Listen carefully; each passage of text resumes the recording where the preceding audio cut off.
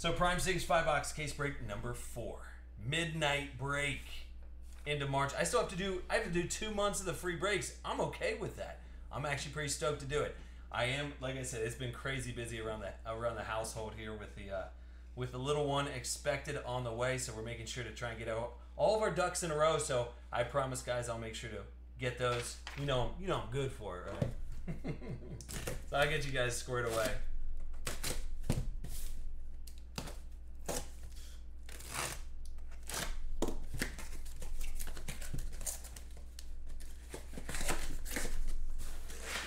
And here we go.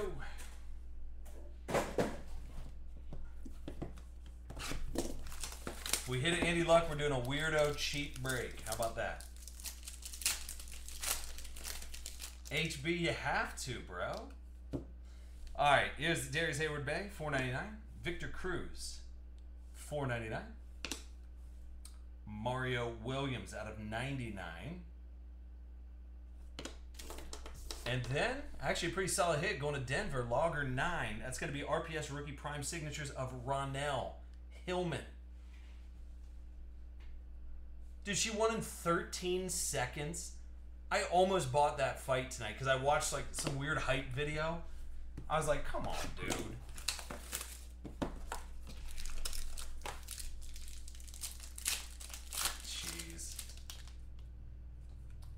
All right, next CJ Spiller at a 4.99. Paul Hornung out of 4.99. Dejo out of 25. And then Houston. Matt Schaub, 15 out of 20. Little short print vet auto. Matt Schaub, 15 out of 20. And then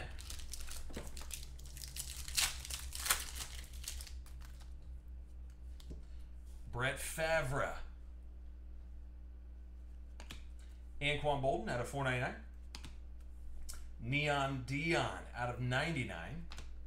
Stephon Gilmore out of 199 going to Buffalo. Yeah, Buffalo. Way down there. Eight, man. Last two boxes. Hey, we don't have anything here. I mean, odds are looking good in the last two, but uh, look at Pudge swinging by late. What's up, man? Mario Williams at a 499. Randall Cobb, 499. Victor Cruz out of 49. Actually, a nice little short print hit here of Ladarius Green. 7 out of 49 going to San Diego. The Bears, 808. And then Dwight Jones, 24 out of 25 going back to Houston.